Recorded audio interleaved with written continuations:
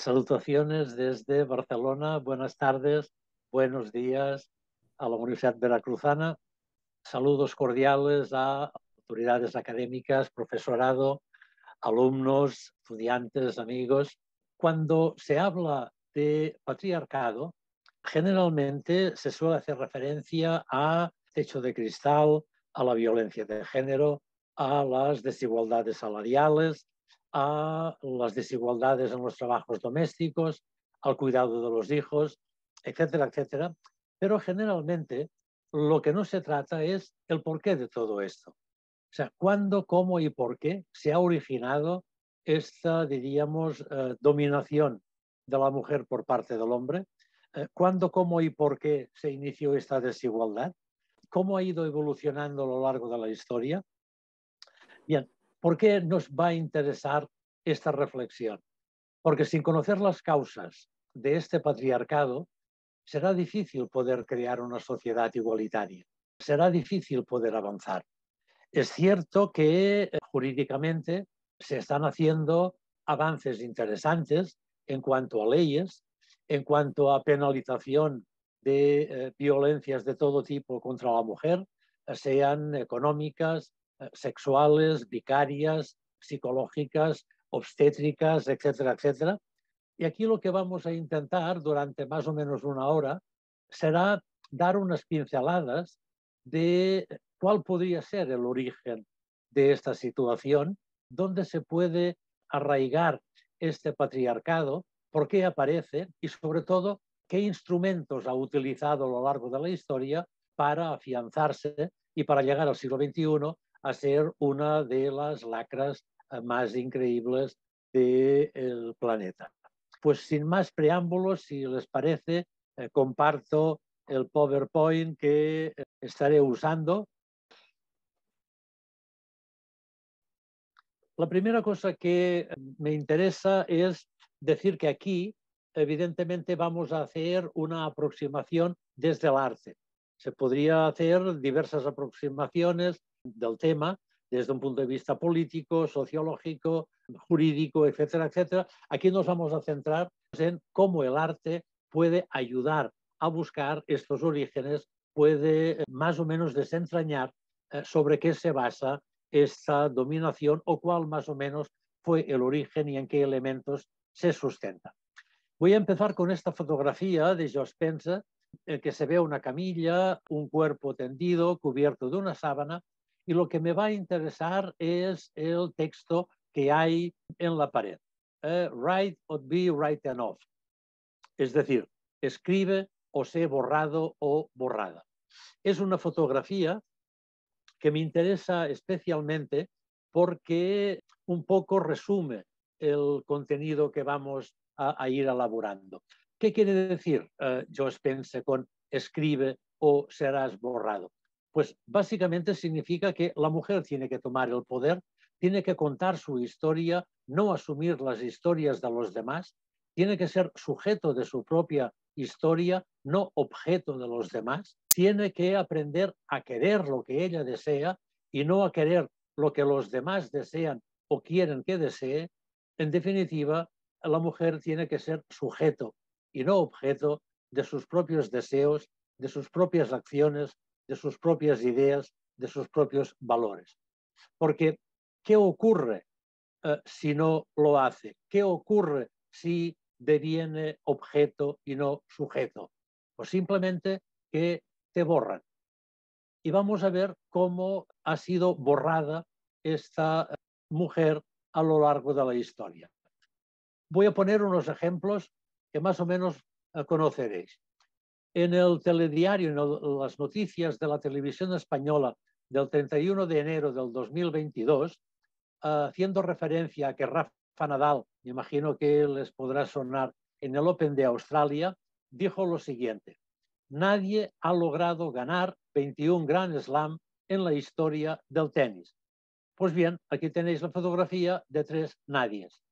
Margaret Court la ganó 24 veces, Serena Williams 23 y Steffi Graf 22.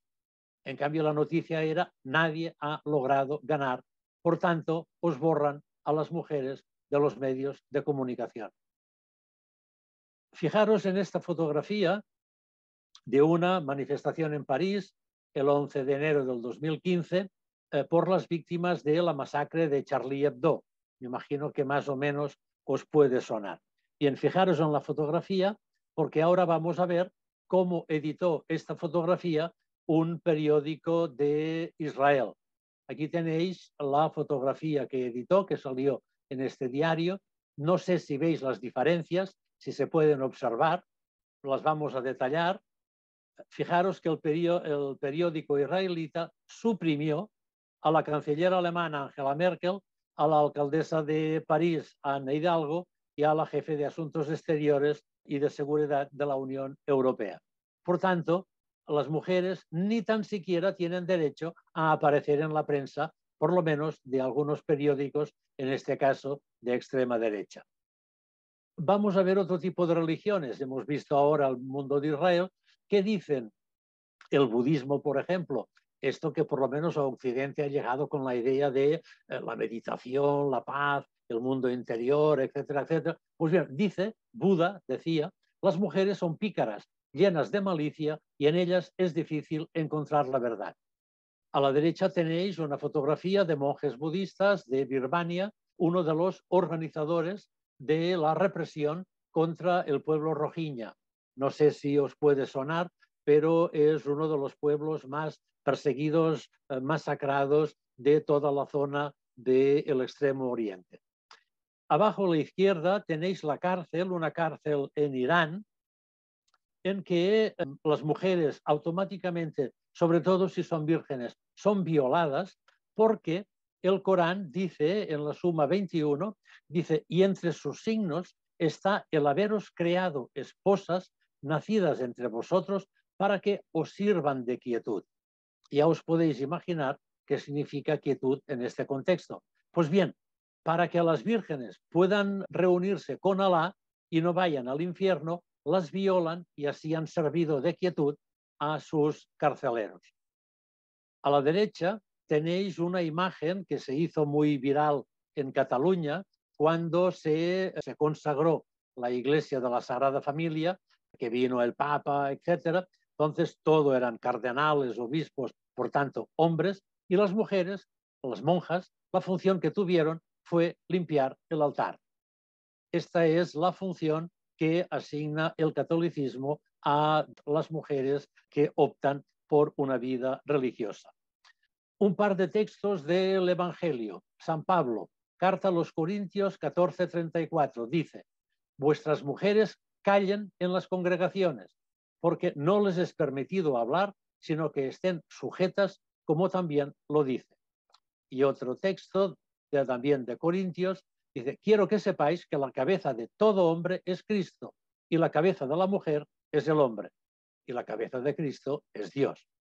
Bien, aquí tenéis una imagen muy significativa del mundo católico que es la, la señal de la cruz. Dicen en nombre del Padre, del Hijo y del Espíritu Santo. ¿Y dónde está la madre?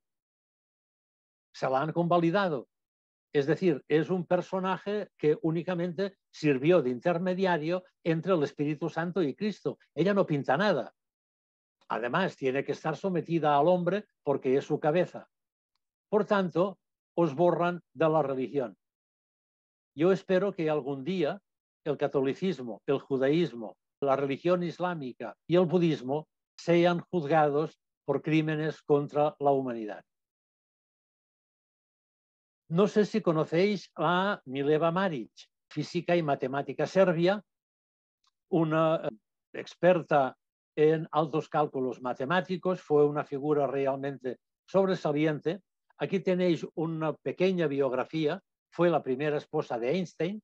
A los 17 años empezó, porque su padre consiguió un permiso especial, a asistir a conferencias de física. En el 1896 empezó en la Escuela Politécnica de Zúrich la carrera de matemáticas y física. Allí conoció a Einstein porque eran seis alumnos, empezaron a más o menos relacionarse, pero su carrera académica terminó en 1901 al quedar embarazada, ya que en aquella época, como no estaba casada, la universidad la expulsó porque quedaba muy mal eh, era tremendamente horrible para aquella gente que una mujer eh, estuviera embarazada sin estar casada. Dio a luz a la pequeña Liesel, eh, que murió a las pocas semanas. Einstein estaba fuera, por tanto Einstein ni tan siquiera conoció a su primera hija. Tuvieron dos hijos más en 1904 y en 1910. Me interesa subrayar que Einstein, que es un personaje de la historia al que todo el mundo admira, súper inteligente, no sé cuántas cosas más y tal, empezó una relación con su prima, Elsa Lowenthal, y Marik la descubrió en 1912. Pues bien, para no separarse, para seguir, diríamos, casados nominalmente, Einstein impuso a Mileva una serie de condiciones que vamos a ver a continuación. Mileva, evidentemente, rechazó estas condiciones, como entenderéis, y se largó de casa de Einstein con sus dos hijos. Pero es curioso, firmaron un acuerdo de divorcio en el que si Einstein ganaba el premio Nobel, el dinero del premio Nobel se lo daría todo a Mileva. Y así fue. En el 21, Einstein recibió el premio Nobel y eh, pasó todo el dinero a Mileva, gran parte del cual lo invirtió en su hijo que tenía eh, diagnosticado esquizofrenia. Vamos a ver ahora cuáles son las condiciones que Einstein este genio, este sabio, este maravilloso hombre del siglo XX impuso a Mileva. Normas de convivencia. Dice, tendrás que encargarte de que mi ropa esté siempre en orden, se me sirvan tres comidas diarias en mi habitación, mi dormitorio y mi estudio estén siempre en orden y que nadie toque mi escritorio. Tienes que renunciar a todo tipo de relaciones personales conmigo, a excepción de las requeridas para el mantenimiento de las apariencias sociales no debes pedir que me siente contigo en casa, salga contigo o te lleve de viaje. Tienes que comprometerte explícitamente a observar los siguientes puntos. No debes esperar cariño de mi parte y no me lo reprocharás. Tienes que responder de inmediato cuando te dirija la palabra. Tienes que abandonar mi dormitorio y mi estudio en el acto. Prometerás no denigrarme cuando si te lo pida yo delante de mis hijos, ya sea de palabra o de obra. Este es el genio de Einstein tratando a su esposa mientras él se entendía con su prima. Te borran de la ciencia. ¿Por qué? Porque sabemos que Einstein, que dominaba bastante bien la física, no dominaba también las matemáticas y que seguramente hay documentos y prácticamente se puede demostrar que fue Mileva la que hizo la mayor parte de cálculos de los cuales después Einstein publicó su teoría de la relatividad especial y de la relatividad general. Lo que pasa es que eh, por estos documentos sabemos que los artículos que escribió Einstein no los firmó Mileva, porque en aquella época, si un artículo científico, entre otros, iba firmado por una mujer, automáticamente perdía valor. Y por tanto, Mileva prefirió que fuera Einstein quien se llevara todo el honor, ella quedar en segundo término sabemos que precisamente la participación de Mileva en todas las concepciones de Einstein fue tan importante que incluso lo que hemos comentado, cuando Einstein recibe el premio Nobel, todo el dinero se lo pasa a ella como compensación a que ha quedado, diríamos, borrada de los honores y del de, eh, mundo de la ciencia. Y nos podemos ahora preguntar, ¿y por qué no ha habido grandes mujeres artistas? De entrada, una cuestión puramente semántica. La palabra genio no tiene femenino. No hay genias. Es curioso. Este pequeño libro de la Linda Neuslin dice básicamente no ha habido grandes mujeres porque se les ha impedido estudiar. No podían entrar en las academias en donde se trabajaba el cuerpo desnudo masculino. Sabemos que los temas que eran predominantes y muy valorados en arte eran temas históricos, temas mitológicos, y estos necesitaban un estudio de la anatomía y a las mujeres se les prohibió poder practicar con el desnudo masculino y por tanto se dedicaron básicamente al retrato, a pintar flores, a pintar paisajes desde el balcón. Y entonces a veces los comentarios, diríamos críticos, dicen, claro, es eh, mujer porque es más sensible, es más femenino pintar flores, que va, Pintan flores porque les impiden pintar otras cosas. no porque pintar flores sea femenino o masculino. Aquí tenéis un ejemplo de una obra muy interesante, está en el Metropolitan Museum y que era atribuida a David. David es uno de los grandes representantes del neoclasicismo francés. Incluso André Maurois, este ministro de Cultura francés, dijo que era, una, era perfecta, era inolvidable y todo el mundo la tenía muy bien considerada. Pero en, el, en 1951, un estudio de uno de los conservadores del museo vio que no era de David y se atribuyó entonces a Marie-Denise Villiers. Pues bien, el hecho solo de atribuirse a una mujer, los mismos conservadores que hacía años valoraban esta obra como fantástica, empezaron a encontrarle defectos. Que si el claroscuro, que si la línea, que si la forma, que si la transparencia, que si las veladuras. Es decir, el hecho de, de estar pintada por una mujer automáticamente pierde valor. Aquí tenéis otra obra mm, muy interesante de Emily Mary Osborne. El contexto es el siguiente. Una mujer con su hermano entran en una sala, probablemente una galería de arte, y presentan un cuadro seguramente para su venta. El, propietario se la está mirando, el que está subido a una escalera también está mirando, el del fondo está trabajando con unas cuentas, es decir, está mirando. Los dos señores de la izquierda estaban mirando una fotografía de una bailarina que está en este periódico y ahora se la están mirando a ella. El niño está mirando a él y por la puerta eh, se van una mujer y su hijo. El hijo lleva un pliego bajo el brazo que probablemente es un rollo de un cuadro que ha intentado también vender y que no ha conseguido. La única que no mira es ella.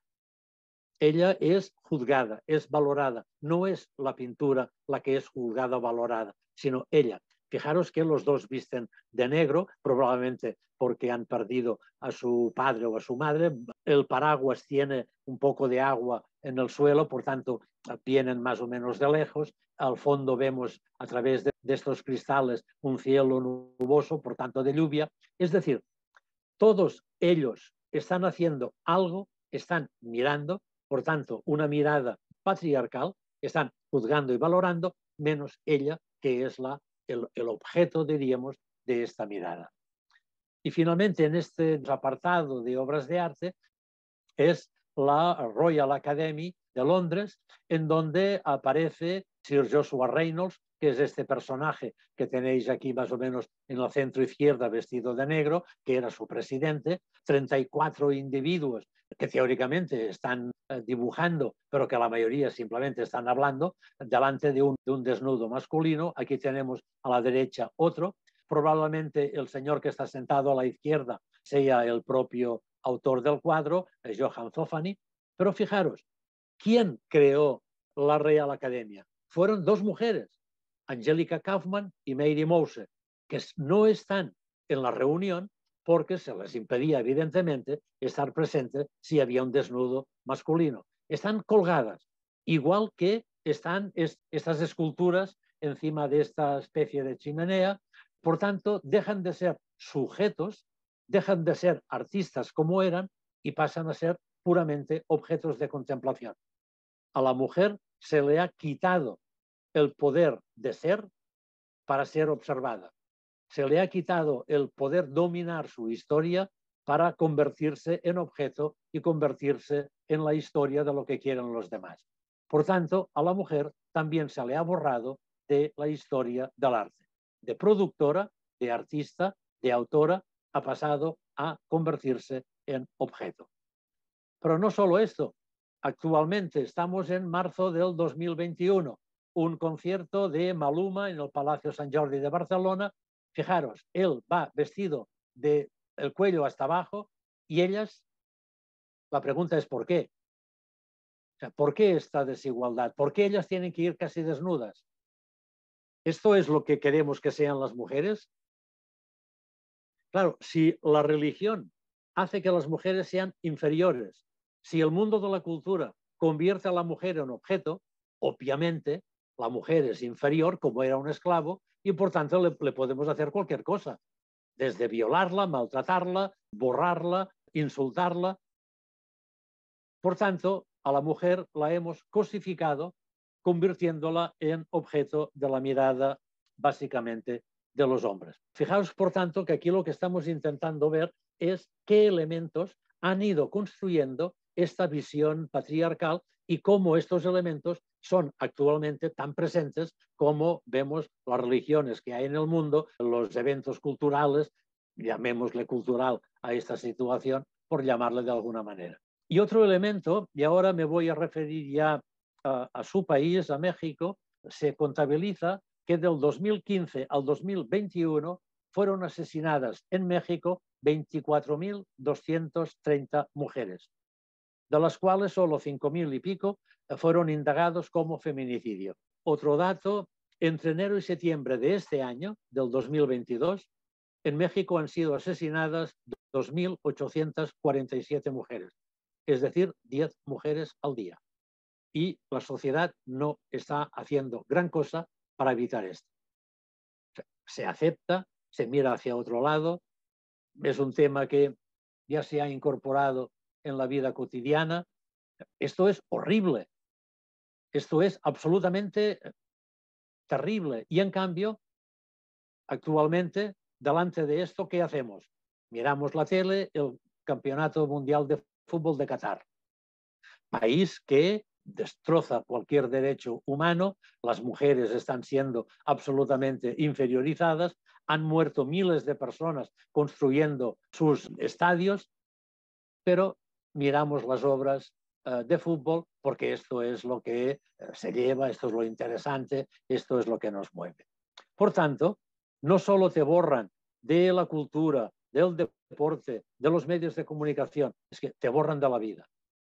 Y esta es la realidad que tienen que enfrentarse millones de mujeres cada día. Se calcula en más de 40.000 las mujeres asesinadas en un año a nivel mundial. La pregunta es, desde el arte, ¿qué podemos hacer? Yo pienso que hay que hacer todo lo que se pueda desde cualquier ámbito. Aquí lo que intentaremos hacer es, desde el arte, podemos reescribir, podemos empoderar, podemos dar voz a las mujeres, ya que les hemos obligado a callarse, como decía el texto de San Pablo. Empecemos con una mirada a la prehistoria, para reescribir el origen de la cultura. Aquí tenéis cinco libros, todos muy actuales, que plantea una visión distinta de la que normalmente tenemos de la prehistoria. Vamos a ver aquí algunos ejemplos. Seguramente la mayoría de vosotros, si ha estudiado algo de arte prehistórico, le han enseñado bisontes, caballos, renos, mamuts, etcétera, como estos de Altamira, al norte de España, o esta que es de Lascaux, en el sur, medio sur de Francia. Entonces, a partir de aquí, pues se interpreta, se estudia, se dice que si esto eran rituales de caza, etc. Como si esto fuera lo que más predomina en el arte prehistórico. Cuando en el arte prehistórico lo que predomina son figuras femeninas. Aquí tenéis eh, dos de las mal llamadas Venus, una de ellas de unos 250.000 años de antigüedad, la otra de 400.000, es decir, aproximadamente del Homo heidelbergensis. Y la pregunta es, ¿por qué hay figuras femeninas y no masculinas? ¿Quién las ha hecho? ¿Para qué se hicieron? ¿Cuál era su función? Aquí tenéis algunas de ellas. Esta de 40.000 años de antigüedad. O tenemos representaciones de vulvas. Y de estas hay muchísimas. Pero curiosamente no son estudiadas ni en los libros ni en las asignaturas de historia del arte.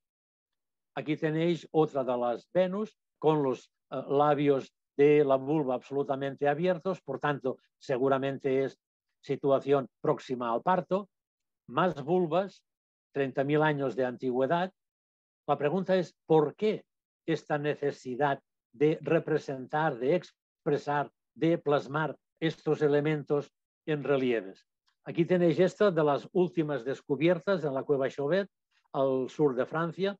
Tenéis aquí en una piedra, hay una especie de tigre, hay un toro y debajo de la cabeza de toro hay el triángulo púbico y la raya de la vulva de manera muy clara y las dos piernas, diríamos, que podrían ser de una mujer, aprovechando que son también las piernas de cualquiera de los dos animales. La pregunta sigue siendo en pie, ¿por qué esto? ¿Y por qué esto no se estudia? La Venus de Willendorf, la famosa, siempre se suele comentar, pues esto, que es pequeñita, tiene unos 11 eh, centímetros de altura, no tiene cara y lo que tiene más desarrollado son los órganos sexuales secundarios, es decir, los pechos, las nalgas, la cadera, pero básicamente fijaros que lo que tiene más, diríamos, trabajado es precisamente la vulva. El cabello es simplemente un juego de formas geométricas. ¿Por qué esto? La respuesta no lo sabemos. Pero no lo sabemos porque lo que se ha estudiado del arte prehistórico es que los hombres de la prehistoria para salir a cazar pintaban animales, bisontes, etcétera, etcétera, o esto era simplemente elementos de la fecundidad. Más Venus, aquí hay, en este cuerno de la abundancia, hay una serie de, eh, de trazos que marcan un calendario lunar, curiosamente el calendario de la menstruación más Venus, estas de la zona ya de Rusia,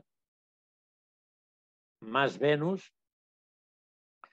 Las paso para que veáis que sí que hay el bisontes y caballos, pero lo que predomina son elementos representativos de, de formas del sexo. Aquí tenéis las tres gracias, que ahora vamos a verla a una de cerca. No es eh, que uno pueda decir, hombre, pues parece ser, podría ser. No, no, es que está muy claro lo que es. Y en España, al norte, en Ribadesella, hay incluso una, uh, una cueva en la cual hay un camarino que se llama de las vulvas. Claro, yo no sé si ustedes lo han estudiado, lo han visto, lo han trabajado. En mi caso, o por lo menos por aquí en España, esto ni se ve. Se sigue hablando de caballos, bisontes, renos. Incluso aquí tenéis una que vista de perfil es una Venus, es femenina, pero vista eh, desde arriba es masculina, es un pene. ¿Por qué decimos que intentamos reescribir el origen de la cultura? Porque por defecto, todas las pinturas de la prehistoria se atribuyen por defecto al hombre. Y en cambio, la mujer queda absolutamente desplazada. Y la imagen que tengamos de la prehistoria así nos influirá en nuestra perspectiva del presente. Ejemplos, si decimos siempre han existido pobres y ricos, pues justificamos las desigualdades económicas actuales. Si decimos la mujer siempre ha estado sometida, justificamos, es decir, en función de cómo nos enseñan los orígenes de la cultura, de la civilización, del arte, de la familia, del Estado, de las clases sociales, en función de esto podremos opinar, podremos pensar sobre el mundo actual. Y a partir de aquí nos hacemos una pregunta, pienso, mm, muy importante. ¿Por qué no existe el macho alfa entre los humanos? Habréis visto seguramente reportajes eh, sobre gorilas. ¿eh? Y el gorila, de la espalda plateada, que se hace con el harén y lucha para que ningún otro gorila pueda reproducirse con las hembras gorilas. En cambio, en el ser humano, a partir por lo menos del Homo erectus, ya no aparece este macho. La pregunta es, ¿cómo se suprimió? ¿Cómo se ha pasado de un macho alfa a un padre o a un individuo que se ocupa de la madre cuando está embarazada, del hijo cuando ha habido el parto? ¿Por qué no existe el macho alfa? Y en segundo lugar, y esto lo habréis experimentado las eh, alumnas que me estén oyendo, ¿por qué cuando un grupo de chicas está junto una temporada, sincronizan la menstruación. Esto evidentemente es un rasgo evolutivo, no es una casualidad. O sea, ¿por qué estos dos elementos? ¿Cómo desaparece el macho alfa y cómo se sincroniza la menstruación cuando un grupo de chicas está durante unos días en las colonias, en un campamento de excursión, etcétera, etcétera, tienden a sincronizar la menstruación? Vamos a hablar un poco de esto. Aquí tenéis un par de libros que son, diríamos, los más recientes sobre este tipo de estudios respecto a la menstruación. Básicamente es la Camila Power y el Chris Knight los autores de esto. De manera mm, bastante resumida y rápida, para no alargarme en excesivo. La hipótesis que vamos aquí a, dar es la que, la que llamamos la coalición cosmética femenina. ¿Qué significa? Sabemos que los animales tienen época de celo, lo que llamamos ciclo estral, es decir, cuando están en celo es cuando se reproducen, pero en las épocas que no están en celo, pues todo el mundo está tranquilo. En cambio, en los humanos hay un ciclo menstrual. Cada mes hay la ovulación. Por tanto, la mujer y el hombre en los humanos siempre están en celo. La mujer puede quedar embarazada 12 veces al año, una por cada mes. Y cuando la mujer nace, tiene ya todos los óvulos que tendrá durante toda su vida. En cambio, el hombre tiene lo que llamamos la espermatogénesis. Constantemente produce esperma, constantemente produce semen. Esta forma distinta biológica de ser tiene evidentemente sus repercusiones. El hombre tiende a expandir su esperma, cuantas más mujeres mejor, porque así, diríamos, se reproduce la especie. Este sería un tema, no vamos a entrar aquí en él porque estamos hablando de arte, pero un tema muy importante para ver que, como dice Freud, la represión es la base de la cultura. Es decir, los humanos tienen que reprimir este deseo de, fecundar a la mayor parte de mujeres para, evidentemente, constituir una estructura social que más o menos aguante y resista. Pues cuanto mayor es el número de eh, hembras que ovulan, significa que el, macho alfa, en principio, debe de estar más atento, le es más difícil conseguir que los demás no puedan eh, copular con estas hembras. En cambio, si resulta que de manera evolutiva las mujeres, todas a la vez, están en época de eh, ovulación, se encontrará el macho alfa con este problema. ¿Cómo controlarlas a todas? ¿Cómo monopolizarlas a todas? Si están en épocas distintas en periodo fértil, puede ir fecundándolas a todas una tras otra. Si todas a la vez están ovulando, le es mucho más complicado. Pues bien, este sería un poco el esquema resultante y aquí es donde empezaría la, lo que llamamos cultura y el origen del arte. El bipedismo hace que el cerebro crezca y por tanto, eh, como el cerebro es el órgano del cuerpo que más energía consume, hace falta más alimento para el recién nacido. No le puedes dar cualquier eh, avellana o cualquier castaña que encuentres por ahí o cualquier hierba. Por otro lado, la ovulación, desde la postura bípeda, el, único signo visible de que una mujer está ovulando es el periodo es la menstruación. ¿Por qué? Porque por la pose bípeda ni se ve que los labios de la vulva estén eh, más grandes, hemos perdido parte del el olor y por tanto no acabamos de oler eh, las feromonas. El único signo visible es la menstruación. Hemos dicho que el macho está interesado en las hembras fértiles para poder eh, diseminar su esperma y reproducir. Por tanto, el macho no tiene ningún interés en las embarazadas, porque éstas no se pueden reproducir, o las que estén en lactancia, porque éstas tampoco se pueden reproducir. ¿Qué pasa entonces? Que son las mujeres las que toman el control. ¿Cómo? Sincronizando la menstruación. Y entonces, ¿cómo expresan esta sincronía? Pintándose de rojo de arriba abajo, es decir, a través del color. Si todas están pintadas de rojo, no puedo saber cuál está menstruando y cuál no. Por tanto, el color pasó a ser de un simple pigmento mineral a tener un simbolismo y a tener un significado social.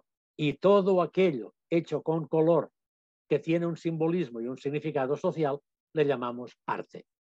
De ahí que el arte empezó precisamente cuando las mujeres se pintaron de rojo para simular que tenían la menstruación y así evitar la existencia de un macho que las dominara a todas.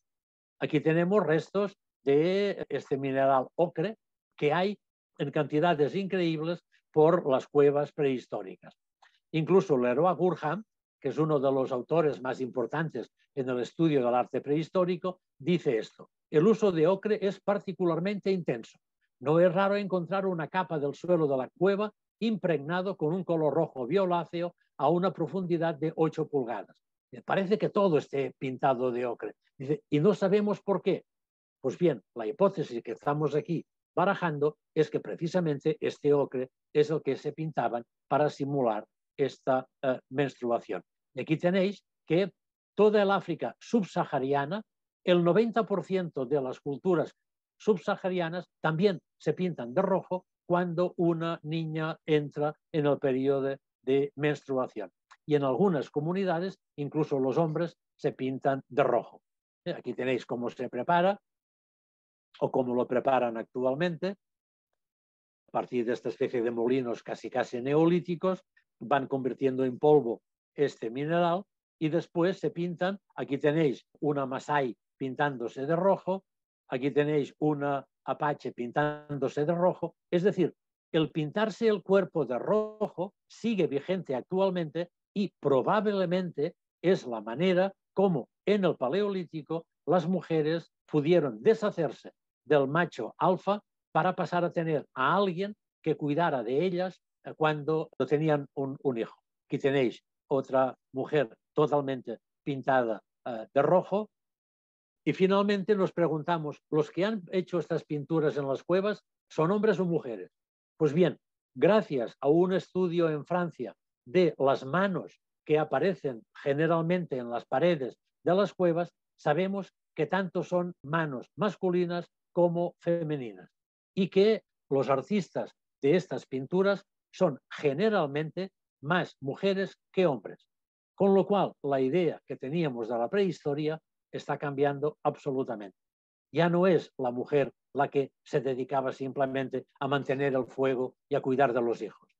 La mujer era la que precisamente realizaba estas pinturas. Aquí tenéis más ejemplos. Por tanto, ¿qué hemos intentado hacer? Dar unas pistas, unas pautas de que, atención, el inicio de la cultura no está en manos de hombres, sino de mujeres. Y esto, evidentemente, nos permitirá preguntar cuándo, cómo y por qué desaparecerá este predominio de la mujer, cómo quedará arrinconada, cómo quedará dominada. Entramos ahora, dentro del inicio de la cultura, a otro nivel, que es el de la religión. Aquí tenéis tres eh, libros muy interesantes que se preguntan básicamente, ¿Yahvé no tenía una esposa? no hay un elemento femenino en, el origen de la religión judía. Vamos a reescribir la divinidad. Siempre fijaros, Yahvé es hombre, Alá es hombre, eh, todos los dioses y los, grandes profetas de las grandes religiones, eh, Mahoma, Cristo, eh, Buda, son hombres. Realmente siempre ha sido así. No ha habido mujeres como origen de la divinidad. Os voy a leer unos fragmentos, no todo el texto en absoluto, solo lo que está en rojo, del Antiguo Testamento. De entrada, en el Génesis se habla de, lo habréis, eh, lo habrán explicado, de que cuando Dios formó al hombre, curiosamente la mujer salió de un costado, por lo menos en Grecia, Atena salió del cerebro de, de Zeus. Aquí no, aquí de un costado. Pues los metió en un jardín con el árbol de la vida y el árbol de la ciencia del bien y del mal. Yo no sé si ustedes eran conscientes de la existencia de estos dos árboles. Yo por lo menos recordaba un árbol, el árbol aquel de la manzana y de que la Eva coge la manzana y se la da a Adán y a partir de aquí se origina eh, todo el, el cotarro este. No, no, hay un árbol de la vida y el árbol de la ciencia del bien y del mal. Veamos qué es este árbol de la vida. En el mismo Génesis dice que Yahvé, dice, he aquí que el hombre ha venido a ser como uno de nosotros en cuanto a conocer el bien y el mal. Por tanto, el hombre se asemeja ya demasiado a Dios, porque ha venido a ser como uno de nosotros. Pues, por tanto, ¿qué hemos de hacer? Que coma del árbol para que le podamos expulsar.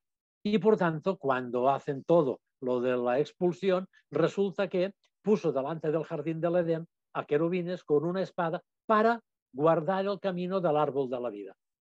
¿Qué es este árbol de la vida? Se comen del árbol del bien y del mal. Curiosamente, cuando han comido de este árbol se encuentran desnudos. Lo normal es que si es un árbol de la ciencia, una vez comido, pues fueran genios en física cuántica o supieran hablar inglés eh, de, corrido. No, eh, se encuentran desnudos. Y entonces no les, les impiden ir a ver este árbol. ¿Qué es este árbol? Veámoslo a partir de una serie de estatuillas. Esta es Istar, la mitología babilónica, diosa del amor, de la vida, del sexo, de la fecundidad, etcétera, etcétera. También se conoce con el nombre de Astarte o el nombre de Aserá. Lo que haremos es buscar en el Antiguo Testamento si hay alguna Aserá y si en Israel se ha encontrado alguna estatua que sea de este tipo. Con lo cual podríamos plantear la hipótesis de que realmente ha existido una diosa Asherah al lado de Yahvé. Bien, aquí tenéis distintas figuritas de Asherah, las, manos debajo de los pechos en señal de fertilidad, de vida. Aquí tenéis a la derecha una figura que eh, también es típica de Astarte o Astoret y está rodeada de una especie de puntos que pueden ser estrellas. Nos preguntamos, ¿se encuentra algo parecido del Antiguo Testamento? Pues bien, en Jeremías 7, 16, 20, el parágrafo segundo. Los hijos amontonan la leña, los padres encienden el fuego y las mujeres amasan para hacer tortas a la reina del cielo. La pregunta es, ¿quién es esta reina del cielo? A mí me la habían escondido. Yo no sabía que en el Antiguo Testamento había una mujer o una reina del cielo. Sigamos, Jeremías 44, 1, 19. en vez de esto, cumpliremos con cada palabra que ha salido de nuestra boca, haremos sacrificios a la reina del cielo y le derramaremos ofrendas líquidas. El texto anterior, Yahvé está enfadado porque adoran a otros dioses, porque no le hacen caso. El otro texto dice, desde que dejamos de hacerle sacrificios a la reina del cielo y de derramarle ofrendas líquidas, nos ha faltado de todo y nuestra gente ha muerto. Es decir, estaban adorando a una reina del cielo. Tercer texto, las mujeres añadieron, y cuando nosotras le hacíamos sacrificios a la reina del cielo y le derramábamos ofrendas líquidas, es decir, la reina esta del cielo aparece muchas veces citada en el Antiguo Testamento y nos la han escondido. Bien, aquí tenéis más imágenes de esta diosa Asherah, estas ya encontradas en Judea, por tanto, donde aparece el Estado de Israel. ¿Cuándo aparece eh, el monoteísmo? ¿cuándo se elimina a la diosa para dar protagonismo al dios? Pues básicamente con la aparición de la monarquía. Es decir, si la monarquía, uno, es el que manda, se llame faraón, se llame rey, se llama Anax, se llame lo que sea, no puede permitir que en el mundo olímpico, por así decirlo, haya varios eh, que manden. Tiene que haber solo uno. Pues bien, precisamente el Antiguo Testamento, una gran parte de él está escrita cuando se formó la monarquía del Estado de Judá. Por tanto, ¿qué aparece en esta época? Una lucha por parte de destronar a los otros líderes religiosos y para quedarse solo con uno. Fijaros en el texto este que dice, cuando Acab vio a Elías, le dijo, ¿eres tú el que turbas a Israel? Y él respondió, yo no he turbado a Israel, sino tú y la casa de tu padre, dejando los mandamientos de Jehová, de Yahvé, y siguiendo los Baales. Envía pues ahora y congrégame a todo Israel en el monte Carmelo y los 450 profetas de Baal y los 400 profetas de Aserá. Por tanto, aquí aparece por primera vez la palabra Aserá, que es una diosa que tiene sus profetas. Evidentemente el número de 400 es un número mítico, pero ya se cita aquí a la figura esta. También colocó en el templo del Señor, está hablando del el templo de Salomón y de David, dice una imagen de Asherah. La palabra Asherah aparece unas 70 veces en el Antiguo Testamento. ¿Quién es esta diosa? Él fue, ya ve, quien quitó los santuarios paganos, hizo pedazos las piedras sagradas, rompió las representaciones de Asherah. Por tanto, hay un momento en que es eliminada esta figura femenina de la divinidad. ¿Por qué? Porque estamos en una situación de creación de la monarquía, por tanto, de el poder de un solo individuo. Dos reyes. Habla del culto de Baal y de Asherah. Sacó fuera de Jerusalén la imagen de Asherah. Las mujeres tejían mantos para la diosa Asherah. Es decir, si alguien tenía dudas de si existía en el pueblo judío una diosa que era la esposa o estaba junto a Yahvé, porque tenían una estatua juntos en el templo de David y Salomón, pues creo que tiene ya bastantes argumentos. Aquí tenemos dos restos arqueológicos en esta plaqueta de aquí, el texto es, bendito sea Uriahu por Yahvé, porque de sus enemigos, por su Asherah, le salvó. Los pocos restos que tenemos, de ahí que todavía estemos hablando de hipótesis, hablan de Asherah y hablan de esta estatua, de esta figura femenina, y este sería el último ejemplo que os pongo.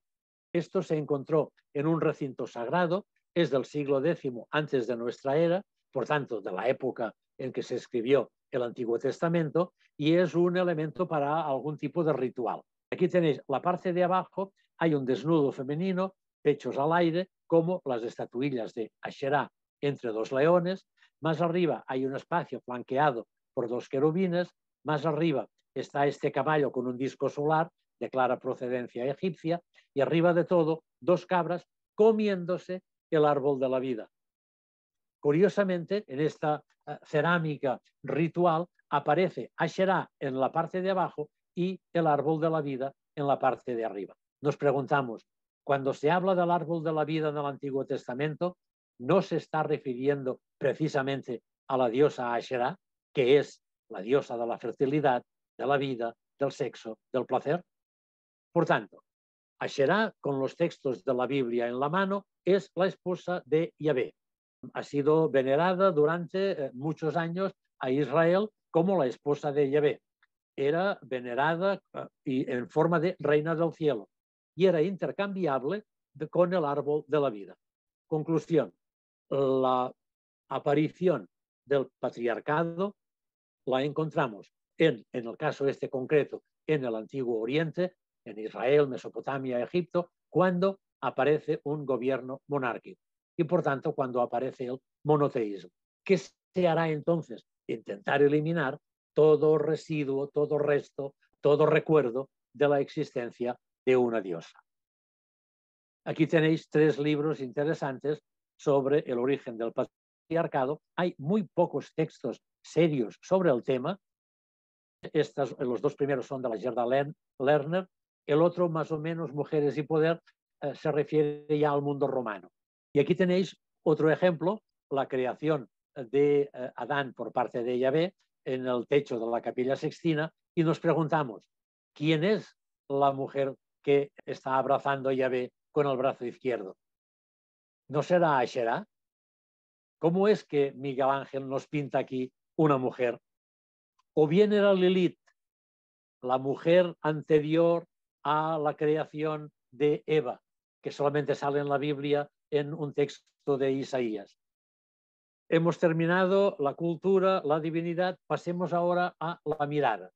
Aquí tenéis una imagen, la mayoría de ustedes supongo que lo que ven aquí es uh, dentro de la botella esta, es una uh, pareja que se está abrazando. Los niños pequeños lo que ven son delfines. Todo lo que son sombras, si se fijan bien, son delfines que están saltando, están jugando. Entonces, la, pregunta es, ¿qué vemos? ¿Nuestro cerebro es una simple cámara de vídeo que ve lo que hay? o realmente el cerebro interpreta en función de la cultura, de los conocimientos, de la experiencia, interpreta lo que está viendo. Por tanto, vamos a intentar reescribir la mirada. Aquí tenéis una foto, yo la encuentro fantástica. Eh, fijaros, un matrimonio está ante un escaparate de una galería de arte. Ella está mirando un cuadro y está intentando comentar lo que está viendo y él, en cambio, de reojo, está mirando el desnudo femenino que hay en el otro cuadro.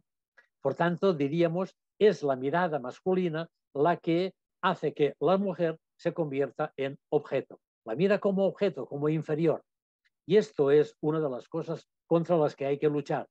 Aquí tenéis toda una serie de libros de historias de arte basadas en dar la prioridad a la artista. Todos son francamente interesantes, cada vez hay más material sobre este tema, pues bien, vamos a ver cómo a partir de un ejemplo concreto, que es esta obra, Susana y los viejos de Artemisia Gentileschi, cómo podemos argumentar esta necesidad de modificar la mirada.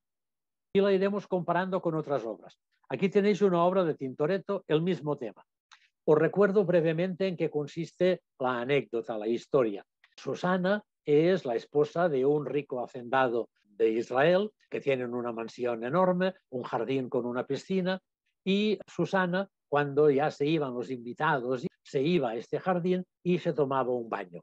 Pues dos ancianos, dos jueces, sabiendo de esta costumbre, en vez de irse, se esperaron en el jardín. Esto es el texto de Daniel del Antiguo Testamento, el libro de Daniel. La esperaron y cuando se fueron las sirvientas que le traían los perfumes, etcétera, se abalanzaron sobre ella y le dijeron que tenían que hacer el amor con ella. Lo de hacer el amor es un, un eufemismo. Y si no, culparían de haberla visto con otro joven. Claro, Susana se encontró que si les decía sí a ellos, dejaba de ser protagonista de su historia, dejaba de ser empoderada, dejaba de ser sujeto para pasar a ser objeto. Pero si los viejos decían que ella había estado con un joven, la culparían y la condenarían a muerte. Por tanto, si hacía caso a los viejos, moriría mentalmente. Si no les hacía caso, moriría físicamente. Susana, evidentemente, se mantuvo firme y dijo no. ¿Cómo pintan esta historia distintos uh, pintores?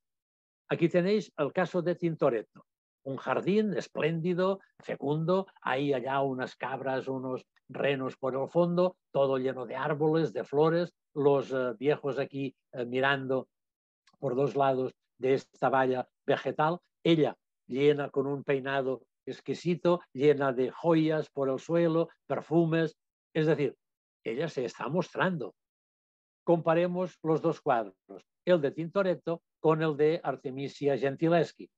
En el caso de Artemisia, no hay ningún elemento de lujo, no hay ningún jardín. El espacio es muy austero. Ella está contra una valla, contra eh, una pared de color gris. Está atrapada, por tanto, entre el espectador y ellos. Ellos se abalanzan encima. Ella la cara que tiene es de terror. En cambio, miremos lo de Tintoretto. Hay una cantidad de aspectos sensuales increíbles. Y encima, si hacemos la composición de las miradas, vemos que todas ellas se dirigen a un espectador que es precisamente nosotros, el que estamos viendo el cuadro. Por tanto, eh, en el fondo, ¿qué nos está diciendo Tintoretto? Que nosotros, los espectadores, participemos en la violación de Susana. Susana se muestra, Susana no está, diríamos, casi casi ni en contra, ni asustada, ni lucha, simplemente está para que le hagan lo que el hombre quiere hacerle y encima nos invitan a participar del festín. Otro cuadro, el de Rubens.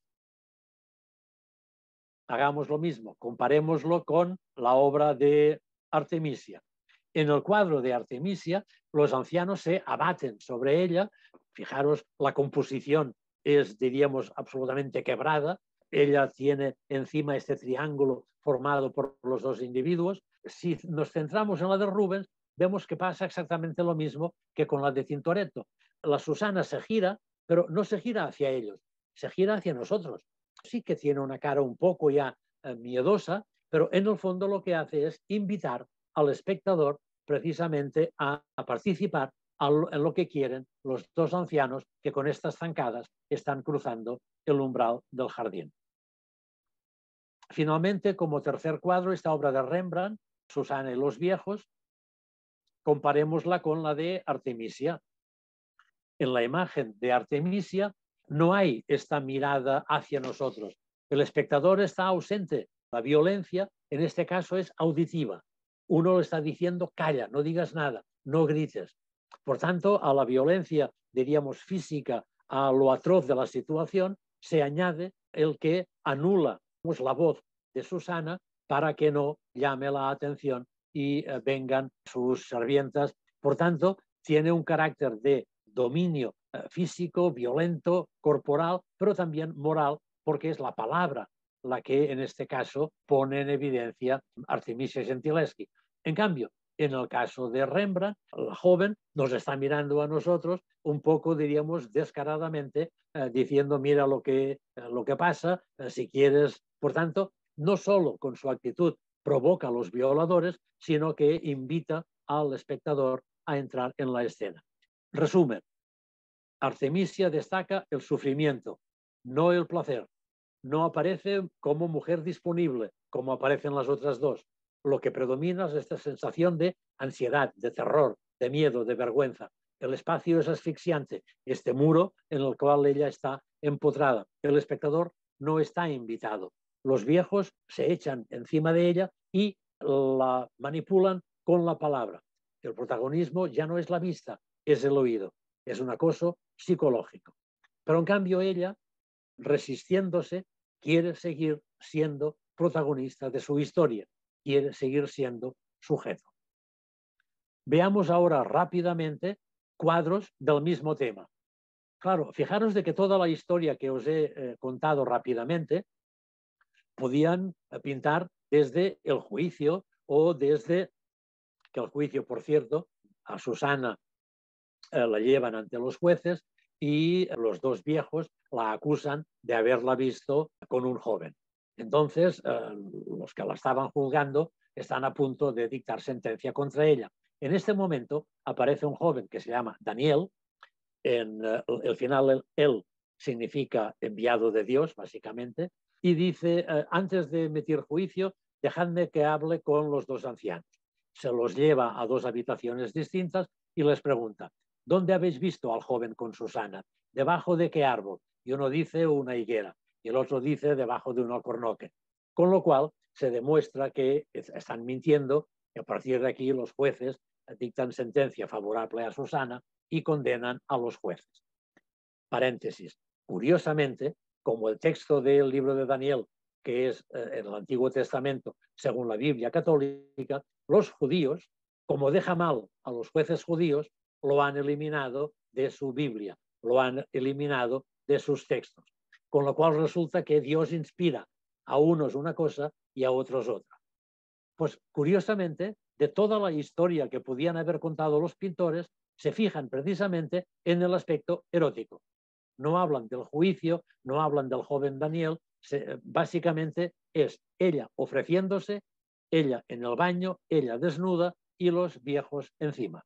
Curiosamente, una obra que lo que intenta es enaltecer la castidad, la virtud, la resistencia de la mujer, ha pasado a convertirse en una obra erótica en la que ella aparece accesible a la mirada del espectador y se ofrece a los viejos. Aquí veis, incluso están hablando, aquí hay tocamientos explícitos y todos son autores importantes, no son autores de segunda o tercera fila. Ella está disponible, ella está contenta, aquí ya diríamos cada vez vemos que el acto lleva más consecuencias. Aquí esto ya es directamente una violación, Millet, eh, ya en el siglo XIX, o el propio Picasso, en la que los dos viejos están allá en la ventana y ella se ofrece aquí diciéndome, hacedme lo que queráis. Si, por tanto, la imagen que tenemos de la prehistoria, la imagen que nos da la religión, la imagen que nos da el arte es la mujer se ofrece, la mujer quiere que la violemos, finalmente, no solo la religión, no solo la prehistoria, la cultura, no solo la mirada, sino cómo reescribimos el cuerpo, cómo el arte ha tratado el cuerpo de la mujer. Pues bien, lo ha tratado de tres maneras. Como encarnación de todos los vicios o de todas las virtudes, es decir, es la prostituta o la Virgen María, es el ideal de belleza, Recordad las obras de Botticelli, El nacimiento de Venus o cualquiera de las obras académicas del XIX. Eh, por tanto, el ideal de belleza o como madre amantísima o como eh, mujer fatal. Veamos algunos ejemplos de esta situación. Esta obra, que fue muy famosa en su época porque se la consideró fantástica, y fijaros que en, los pies hay una concha, por tanto es donde se originan las perlas, esta mujer, eh, fijaros cómo se va insinuando con una serie de elementos quebrados, el brazo, el pecho, después se va haciendo más suave con las caderas y termina haciendo suave con la rodilla. Está esperando que la ola, en este caso es el macho, en este caso es el hombre, la, eh, se le eche encima y por tanto la cubra. Esto es lo que el arte dice de la mujer o este otro. Os leo un pequeño fragmento para ver cómo se comentan este tipo de obras. Esta en particular hay un comentario que dice, la belleza del desnudo femenino nos remite de forma eficaz y sugerente a la belleza de la esencia divina, mientras que la pasión que provoca alude al deseo por el conocimiento de la verdad. Ustedes aquí ven la esencia divina, la verdad, el conocimiento. Es decir, se está justificando que a la mujer se la ha convertido en objeto, se le puede hacer lo que uno quiera y encima con una palabrería absolutamente estúpida. O bien esta.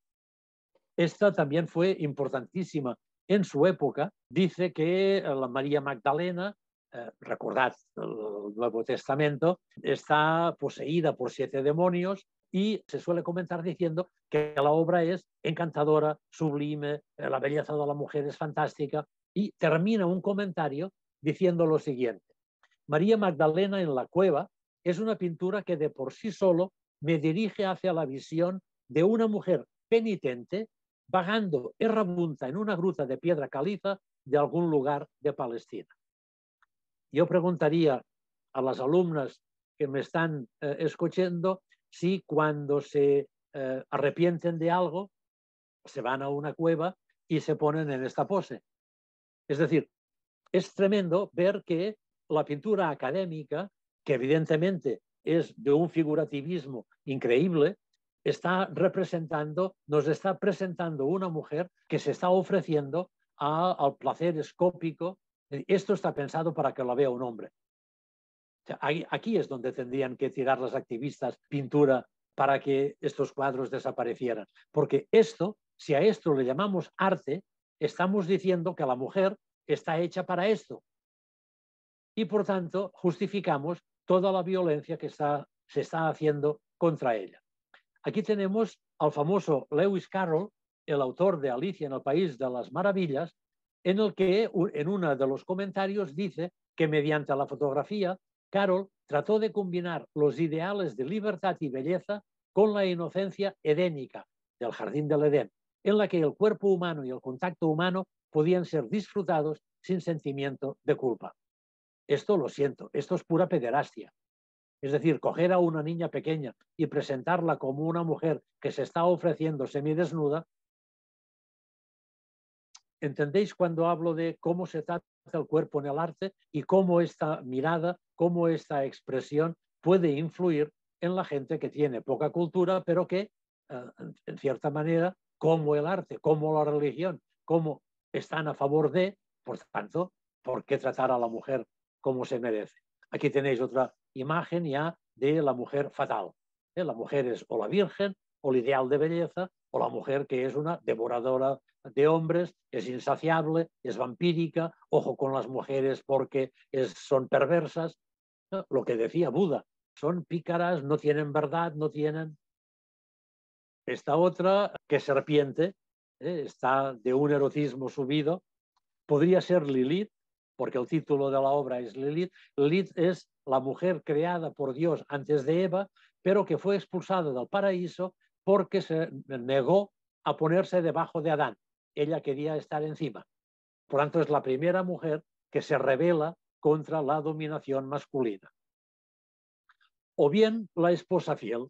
Aquí tenéis la primera obra en la que, la de la izquierda, en la que el marido recibe una carta, probablemente o es un despido, o es una factura, o es un problema, y ella le consuela porque la mujer, la función que tiene es estar al hombre, es acompañarle, es consolarle, es ser su reposo, el reposo del guerrero, como dicen los textos de San Pablo o del Corán.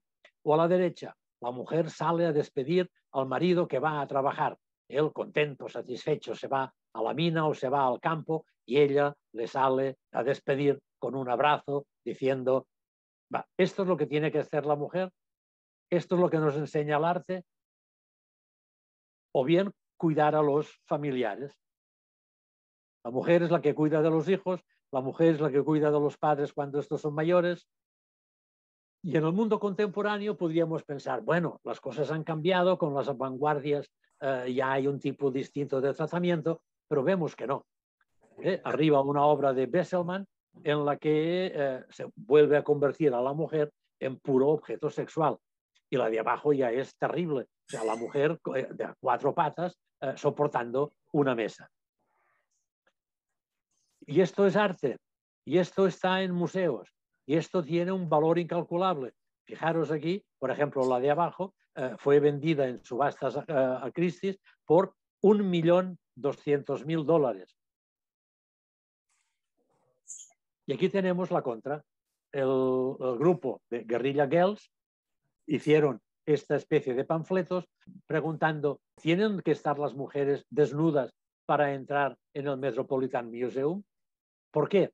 Porque menos del 5% de los artistas de la sección de arte moderno son mujeres, pero en cambio el 85% de los desnudos son femeninos. ¿Qué son los museos actualmente? Son revistas pornográficas. Allá hay eh, cuadros de historia, generales, gente importante, hombres y mujeres desnudas. Nos guste o no nos guste, los, los museos actuales están llenos precisamente de obras que mejor sería arrinconarlas en los sótanos. Aquí tenéis una obra fantástica de la Bárbara Kruger, Tu cuerpo es un campo de batalla. mientras el cuerpo de la mujer sea un campo de batalla, tenga que luchar para ser reconocida, para ser empoderada, para ser alguien, para ser simplemente no borrada, la sociedad en la que vivimos, mejor que desaparezca. Y aquí tenéis respuestas de mujeres a, estas obras que acabamos de ver. Eh, aquí lo pasaré muy rápido. Esta es la Judith Chicago con la obra de Dinner Party, este triángulo con todo de platos con eh, signos de vulvas en el interior, con todo un enlosado en donde hay los nombres de 999 mujeres venerables, es una contribución, por tanto, a recordar a las mujeres en la historia. Esta es una performance eh, muy, muy dura, muy impactante. Aparece la Carlotte Sniemann vestida con una eh, pata de cocina, llega ante el público, se la quita, lee unos fragmentos de un libro de Cézanne y después se saca de la vagina un papel donde está escrito las críticas que le hacen los hombres a este tipo de performance o a este tipo de arte. Es decir, un poco la idea es la creatividad la llevan las mujeres. Son las únicas que pueden tener hijos. Son las que realmente son creadoras y la vagina es un símbolo de esta creación. O bien la Joan Semmel, que lo que hace es aquí eh, retratarse desde, eh, con sus amantes, con sus desnudos, desde su propia perspectiva. cómo ella ve su cuerpo, cómo ella ve al otro. Tanto ya no es la mirada masculina la que codifica. En este caso, lo que hace eh, la Joan Semmel es apoderarse, quedarse con esta mirada, ser ella la que está mirando y no la que es mirada. O bien la Cindy Sherman, creando todos los estereotipos de las películas. Recordad si habéis visto o cuando erais más jóvenes, películas de estas típicas del oeste americano, en que, ¿cuál era la función de las chicas? Chicas al salón. Y después había la protagonista, la guapa, que se quedaba con el protagonista. Y el amigo del protagonista es el que moría. Pero las chicas eran básicamente esto, ser objetos del deseo. Aquí tenéis de la misma Cindy Sherman cómo, diríamos, desacraliza el erotismo, desacraliza la mirada que el hombre tiene sobre la mujer y convierte lo abyecto en eh, bello, en obra de arte. O la fotógrafa Nan Goldin, que fotografía aspectos íntimos, cotidianos. Aquí, después de una paliza de su compañero, pues se hace un autorretrato y por, y por tanto, diríamos, convierte la fotografía en elemento a partir del cual ella está, diríamos, conectando, interviniendo en la realidad capta lo que sea, lo bueno, lo malo, lo feo, lo bonito, como por ejemplo aquí, capta las relaciones de intimidad de una pareja en el baño o en la cama o dos homosexuales. Hay que tener mucha confianza en la fotógrafa para que la gente opte para dejarse fotografiar de esta manera. Pues es esta especie de congelar las relaciones de intimidad es lo que hace Angoldi con sus fotografías. O bien Orlan, que se hace operar el cuerpo y dice, a ver, ¿cuál es la mujer más bella de la pintura? La cara, eh, los ojos de la Venus de tal, la, eh, la nariz de tal. Pues ella va al quirófano y se hace operar para tener precisamente eh, los rasgos que se han considerado bellos en las mujeres. Por tanto, lo que hace es decir, señores, hago mío todo lo que estáis vosotros mirando y ya veis que el resultado no es este ideal de belleza que os habíais creído. Estas fotografías son increíbles de la Hannah Wilke. Se le detectó un linfoma terminal y antes de morir, un par de años antes de morir, hizo estas fotografías de su cuerpo. Un cuerpo eh, devastado por la enfermedad, un cuerpo nada ideal, hinchado, morado. Y esto es realmente también un cuerpo de mujer. Por tanto, es una reafirmación de este empoderamiento, de esta actitud de que yo soy protagonista, yo quiero lo que quiero, yo deseo lo que deseo y no lo que me hacen desear. Esta otra también pensando en la, cantidad de tipos inmensos que hay de mujeres y que por tanto no podemos reducir a la mujer a un nivel de belleza. O esta otra, ¿qué pasaría si pensáramos que Cristo fuera mujer? Y es hombre, es hombre blanco, es hombre tal como lo pintan guapo. ¿Qué pasaría si fuera una mujer y una mujer negra? ¿Os no imaginamos de qué trataría el Evangelio? O bien la Kiki Smith, que lo que hace es lo contrario de idealizar el cuerpo femenino despoja a, los cuerpos y los presenta de esta manera con actos muy privados, con actos realmente abyectos, nada eróticos, o bien esta piscina de sangre, precisamente aludiendo a la violencia extrema que han de soportar las mujeres. Tema de la moda, la piel sirve de moda. ¿Por qué las mujeres tienen que vestir de la manera que visten y por qué los hombres no? ¿Por qué las mujeres cada vez se van desnudando más y los hombres no? ¿Qué pasa con la moda? ¿Qué pasa con la satisfacción de nuestro cuerpo? ¿Por qué las mujeres sufren tanto al no aceptar su propio cuerpo? Porque la sociedad les dicta un tipo de, o esta última, de la Louise Bourgeois, que retrata al cuerpo femenino como cuerpo fragmentado, incompleto, inestable. Bien, ¿qué hemos intentado hacer a lo largo de esta charla, básicamente al reescribir el origen de la cultura, al reescribir la divinidad, al reescribir la mirada o al reescribir el cuerpo, lo que de hecho hemos intentado, ya que además estamos en una universidad, ha sido modificar en lo posible, aunque sea poco, las conexiones sinápticas de nuestro cerebro. Es decir, hemos intentado que los oyentes, los espectadores, salgan de aquí un poco habiendo modificado sus esquemas mentales. Si esto eh, se ha conseguido, ya me daré por satisfecho. Estos son libros que hablan de, precisamente del cerebro. ¿Cómo es el cerebro? ¿Por qué el cerebro masculino y femenino no son diferentes como tantas veces se está repitiendo? Son más diferentes los cerebros entre los hombres que entre los hombres y las mujeres. La plasticidad cerebral, es decir, el cerebro cambia de pequeño a mayor dependen de básicamente tres grandes factores. El conocimiento, la experiencia personal y el contexto. Todo lo que hacemos, desde tomar un café por la mañana a no tomarlo, desde eh, a quién amamos, cómo nos sentimos amados, las actividades en las que participamos, si hacemos o no deporte, todo, todo, todo depende en definitiva de estos tres factores, conocimientos, experiencias y entorno. Y estos tres elementos son los que pueden cambiar y de hecho cambian nuestro cerebro. ¿Por qué? Porque nuestro cerebro está absolutamente interconectado con el mundo. Es el cerebro refleja el, el mundo en el que vive, refleja los valores de este mundo. Somos los que somos porque tenemos unos conocimientos, unas experiencias y un entorno determinado y concreto. Pues bien, cambiar estas sinapsis, cambiar estas conexiones cerebrales es una manera de vivir de otra manera en este mundo. ¿Por qué? Y este para mí es la conclusión a lo que os he intentado explicar. Un entorno corrupto produce cerebros corruptos. Un entorno violento produce cerebros violentos. Y un entorno sexista produce cerebro sexista.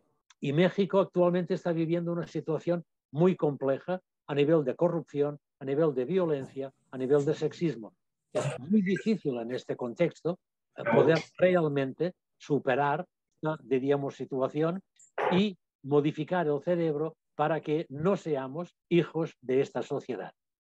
Por tanto, para modificar un cerebro sexista o patriarcal, es necesario reescribir conocimientos, experiencias y entorno.